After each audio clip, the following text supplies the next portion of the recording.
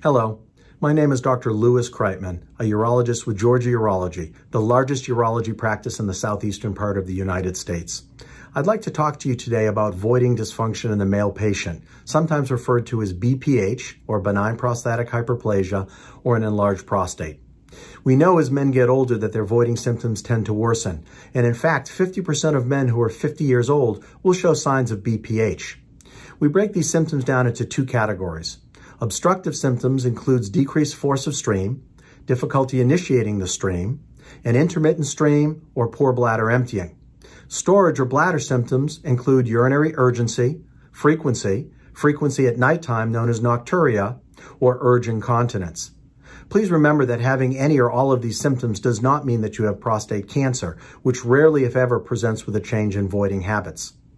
It's important to have a comprehensive evaluation by your urologist. This should include a history and physical, a urinalysis, blood test to check PSA, and an evaluation of your symptoms with a questionnaire.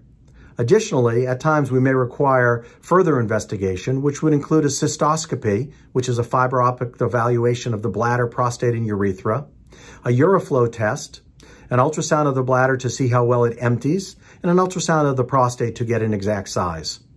Once we have this information, we should sit down and have a frank discussion about your symptoms, your treatment goals, your expectations of treatment, and the potential risks of any of those treatments. We at Georgia Urology offer many minimally invasive procedures which can get you off your medication and get you voiding better than you did when you were on that medication. Please pick up the phone and call one of our over 50 urologists here at Georgia Urology and make an appointment to discuss your voiding dysfunction further. If you're interested in seeing some of the different procedures that I offer in my practice, please click on a different Georgia Urology YouTube video. Thank you very much and have a nice day.